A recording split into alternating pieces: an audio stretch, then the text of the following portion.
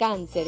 Cáncer, hoy es un día para sacar el carácter, hoy es un día para ponerte allí un poco rudo a través de, bueno, yo diría que algunos regaños o algunas palabras muy serias y muy tajantes que vas a tener que decir. Esto es como que, mira, necesito sentarme y decirle verdades a mis familiares. No quiere decir que vayas a faltar el respeto, pero sí que vas a tener que ponerte como duro con estructuras no negociables si eres del signo de cáncer. Solamente así podrá llegar el orden. Recuerda, no siempre debe ser complaciente. Así que cáncer, ya de ahora en adelante, ponte como un escudo y trata en lo posible de atajar todo de una vez antes de que este problema sea más grande.